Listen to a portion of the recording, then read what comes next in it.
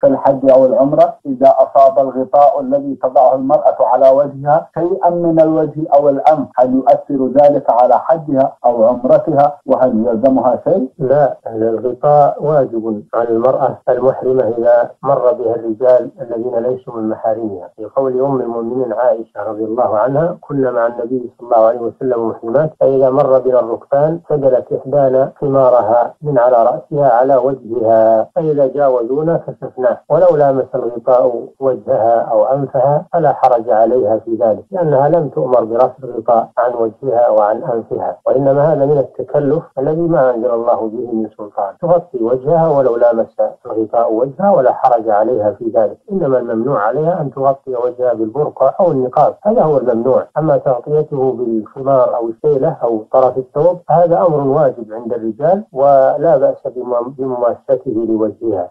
جزاكم الله خيرا وأحسن إليكم.